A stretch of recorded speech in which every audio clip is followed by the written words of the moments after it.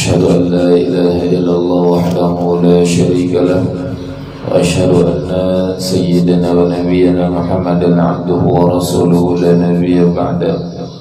سبحانك لا علم لنا إلا ما علمتنا إنك أنت العليم الحكيم. رب اشرح لي صدري ويسر لي أمري واحلل عقدة من لساني يفقه قولي أما بعد. Para jemaah yang dimuliakan Allah Alhamdulillah kita kembali berkumpul bertatap muka di dalam majelis ini. Semuanya perkumpulan kita ini tidak lain atas nikmat Allah. Maka dari itu kita patut dan wajib bersyukur kepada Allah yang memberikan kita nikmat luar biasa Mudah-mudahan perkumpulan kita ini diberkahi, dirahmati Allah Subhanahu wa taala dan mudah-mudahan tidak keluar kita dari majelis ini kecuali Allah mengampuni dosa-dosa kita. Amin ya rabbal alamin. Salawat dan salam tidak lupa kita sampaikan ke junjungan Nabi kita Nabi besar Muhammad sallallahu alaihi wasallam pada para keluarganya, para sahabatnya, para pengikutnya dan kita semua hingga akhir zaman. Kita sambung pelajaran kita di dalam kitab Nasihul Ibad. قال al-musannif الله taala wa بعلومه في الدرين امين Amin ya العالمين alamin. والمقالة الحادية وعشرون maqalah ke-21 Qila dikatakan La gurbata lil fadil Wa la watana lil jahil Tidak ada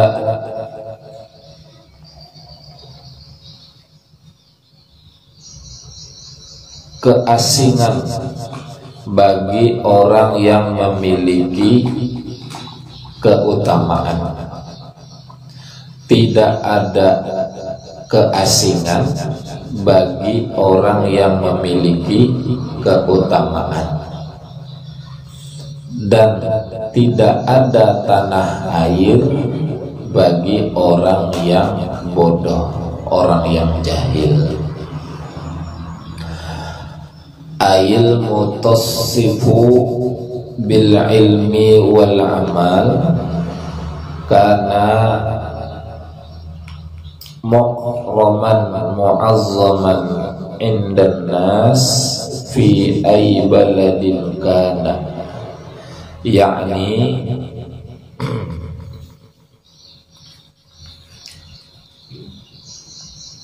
seseorang itu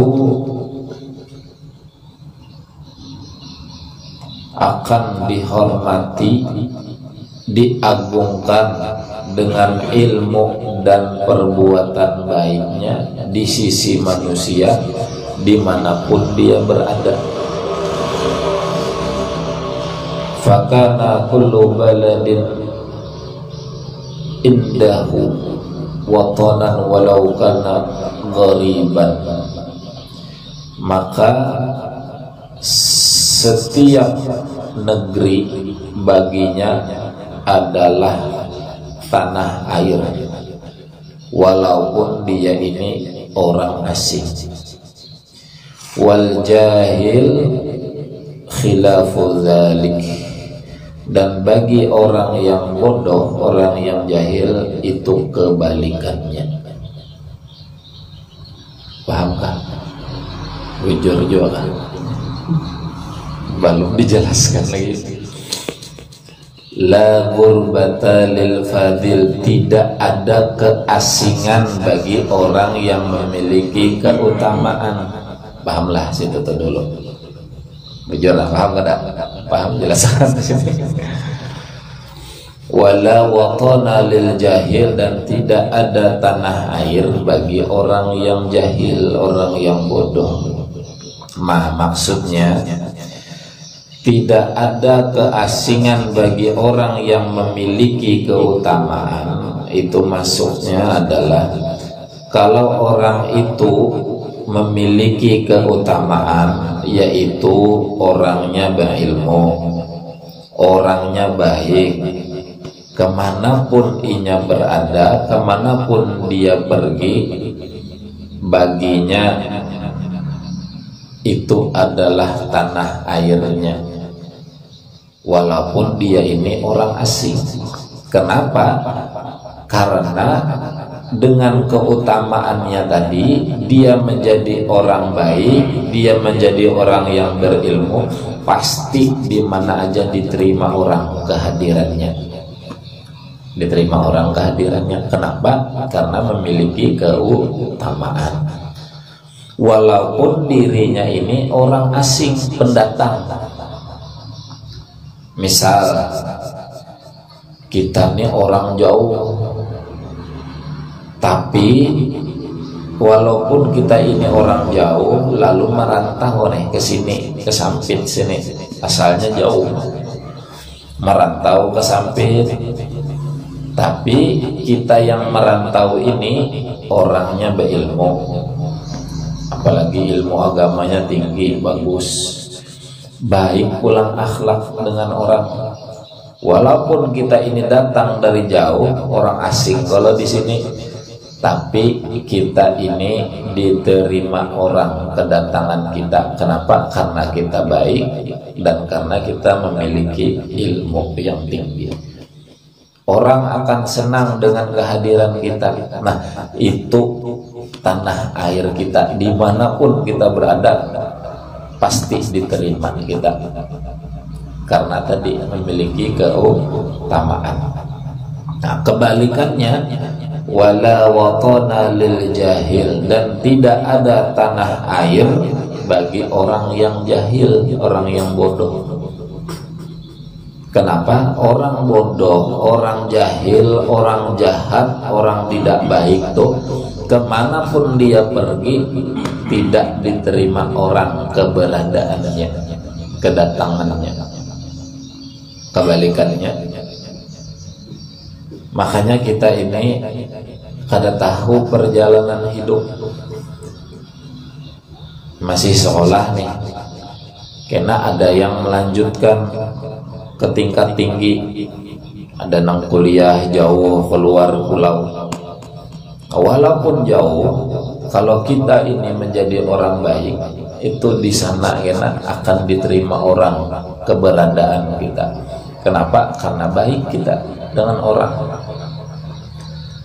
Bahkan kita itu kalau sudah berada di negeri orang lalu boleh kampung umpamanya itu dicari orang pasti dicari nyaman ada si anu semalam tuh inya baikan orangnya. Dicari orang tuh? Ya lah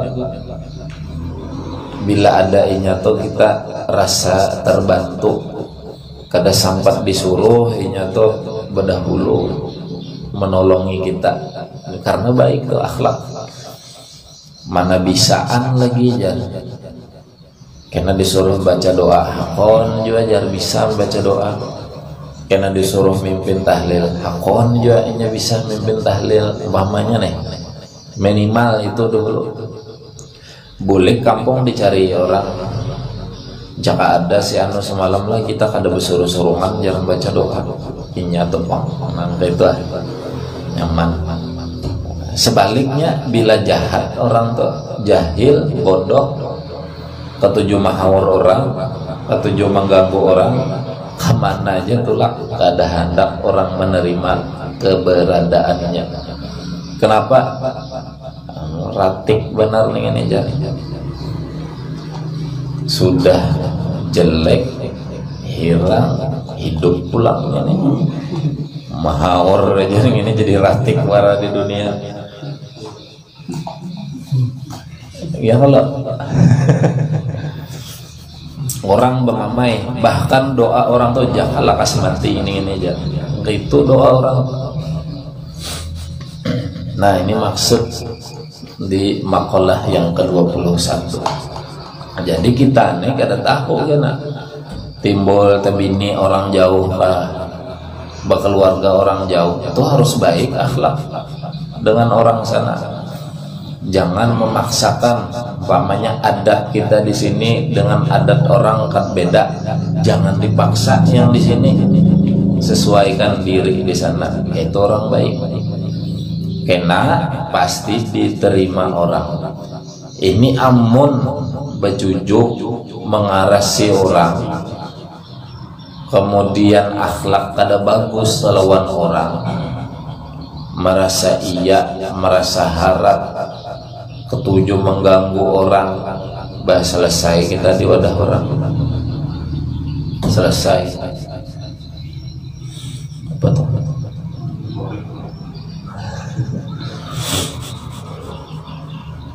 Ketujuh menyakiti orang itu kada hendak orang kawan dah ke mana aja pergi amun watak seperti itu dibawa. Ada harapan. Kada harapan diterima orang. Bahkan dijauhi orang. Bahkan orang ini mendoakan mudahan lakas pindah pada sini. Mudahan lakas mati nih ini mudahan celaka nih ini macam-macam doanya ada bagus. Hakon lah didoakan orang kada bagus. Tapi bila baik tadi doa orang baik juga mudahan inyanilah jadi warga tetap kita aja. Nyaman adanya. Mudahan inyane sehat terus. Nyaman bila garing kena kedida kita menolongi kita. Nah, doa orangnya bagus terus.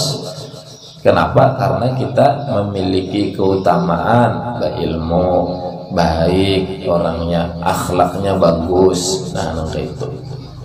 Jadi kita belajar belajar tuh belajar menuntut ilmu supaya apa tadi? Ilmu yang ilmu agama ilmu akhlak bila dibawa di dalam diri kita ke mana aja tulak tadi ke mana aja pergi ke mana aja merantau itu diterima orang keberadaan kita. Pasti. Kada bisa kada itu rumusnya sudah Kenapa? Karena orang hidup di dunia ini pasti hendak nang baik-baik itu pasti. Apalagi dalam masyarakat berumah tangga, berkeluarga, rukun tetangga itu pasti hendak nang baik-baik. Coba mun haur mengolah dahur orang olah wal orang atau kada ketujuh bang orang kurang-kurang bisa diusir orang pada kampung biar tampang jelek biar hirang awak latat makanya tunggul langit tuh ada bapak. Tapi akhlak bagus ilmu pulang ada itu ketujuh jauh orang ketujuh orang. Ini sudah jelek hangit pulang maka ketujuh mahaur orang bah selesai. Bisa dipatak orang hidup-hidup.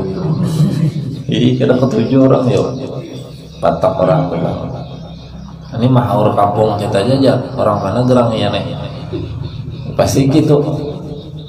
Datang jauh-jauh aja membawa bala budas ke sini. Sudah usir sana. Maka kurang-kurang bisa ada nama culasi nah ini maksud daripada penjelasan di makalah ke-21 nah jadi ini peringatan kesan kita bila hendak kita ini diterima orang kehadiran kita ini disambut orang artinya disambut orang menerima kehadiran kita. Itu tadi caranya. Nah bila kada hendak alias eh, orang ini kada petunjuk lawan kita nah berarti itu salah kita pasti ada penyakit. Penyakitnya apa? Yang ada baik akhlak. Kada bagus perilaku. Nah jadi harus dibagusi. Akhlak dibagusi perilaku dibaiki ilmu ditambahi. Nah supaya kita diterima orang. Inya ada orang tua atau kadang-kadang bercita-cita. Anaknya ini masukkannya ke pondok pesantren supaya apa? Ikam nakaijan bila lulus pondok pesantren ilmu agama ada pasti dipakai orang di kampung. Itu ada atau orang Tuhan gitu. Cita-cita. Kada tinggi pan cita-citanya. Pokoknya lulus pondok pesantren dipakai orang di kampung. Selesai ya. karena maksud orang tua masuk pondok pesantren pasti dapat ilmu agamanya asal memang belajar di pondok. Amun di pondok guring ya sama eh. Karena keluar pondok pasti dilajari akhlak. Nah bila sudah ilmunya dapat akhlaknya ada keluar pasti dipakai orang. Itu maksud orang tua dah. Ikam nakai ada dahulu orang telah ikam nakai jar bilanya lulusan pondok karena di kampung dipakai orang pasti duduk di tanah. Bahasa orang tua dah apa apa bajar duduk di tanah air aja karena ikam merasa aja. Sekalinya apa duduk di tanah tuh disuruh orang terus. Baca doa inya suruh orang. Mimpin tahlil inya suruh orang. Wong saraba inya? Nah ya kalau nak ya suruh orang terus.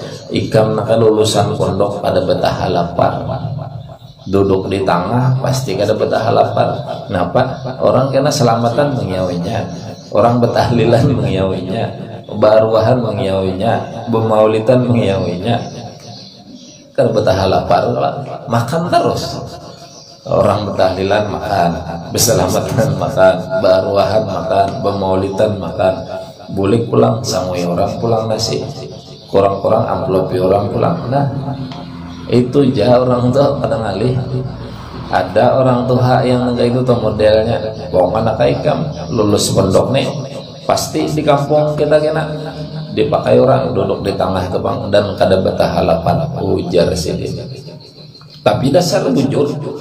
Coba aja bila di kampung-kampung ada salah seorang di kampung itu tulang masuk pondok kena bulik eh pasti tuh disuruh orang di kampung tuh.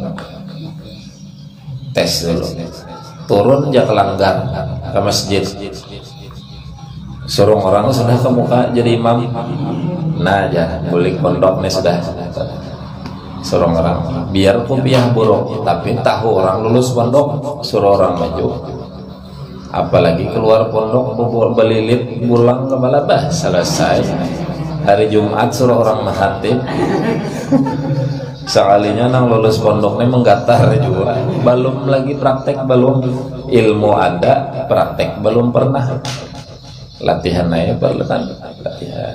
Ini perlu memang latihan dah ilmu ini ada banyak jauh orang ini berilmu tapi praktek kada biasa. Limbah disuruh memakatib katar betis. Sidang Jumat yang berbahaya tahu jangan pun orang yang berbahagia yang berbahaya gitu. Betis. Hmm. Tapi ada juga nang tepat toh menghadapi orang ilmunya kan tidak ada juga tuh kebalikannya lah. Banyak juga yang gitu dah. Tepat toh ada kepala desa kisahnya nih kepala desa. Kan karanya kepala desa tepat toh menghadapi orang. Tapi si dini dimasukkan oleh pengurus masjid makhatib di masjid. Dimasukkan jadwal khatib juga.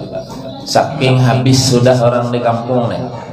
Si om kades kita masukkan juga ujarnya. Rupanya kenapakah kebanyakan orang berurusan lawan kades nih. Hari Jumat itu jadwal sidin makhatib. Hancap-hancap jam 11 lewat sudah mati. Sudah dulu sidin urusan aku anak mahatib masjid. Oh tulak tulak ke masjid. Mahatib. Pas naik untung aja untung anu asrakal dolat naik ay begitu naik habis assalamualaikum duduk masih tenang aja tuh ngaran biasa aja menghadapi orang. Ajan lagi kan habis aja nih hanya mulai khutbah. Hanya nak berdiri menarik sudah dua teks nih di kantong pas membuka lain nang dibawa ane lain tek khutbah. Ngaran kepala desa urusan banyak. Sekalinya SKT fotokopi SKT orang dibawa nah jangan desne bingung apa bunyi khutbah nih isi khutbah nih?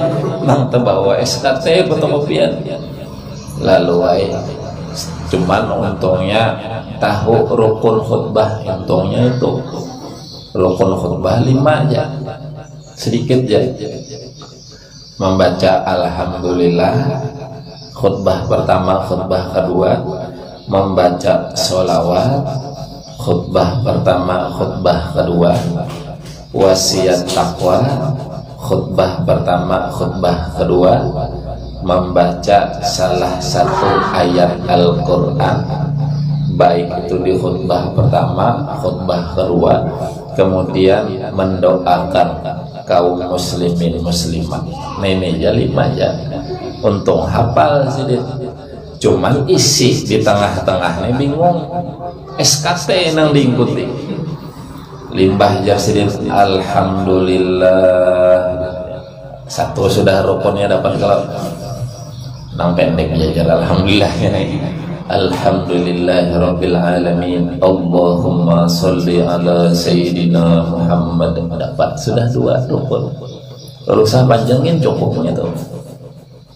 Lalu limbah salawat tadi Ittaqullah Wajar Mela bujur juga bang nah, Tiga sudah lah Tiga sudah Limbah itu baca ayat Apakah nang dihafal ayat yang penting cukup rukunnya Bismillahirrahmanirrahim. Qul huwallahu ahad.